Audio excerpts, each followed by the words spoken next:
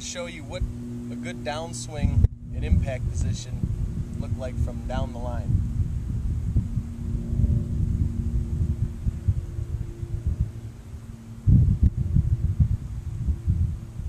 Gotten into a good top of the backswing position. As we come down, our hips are going to begin to unwind. Our chest and arms follow closely behind, working together, turning back to the golf ball. When we get to this position here, club face is square, so that all we need to do is rotate our upper body through the shot.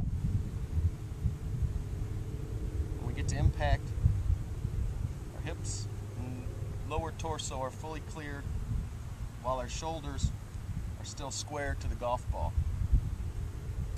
So our impact position from down the line going to look something like that.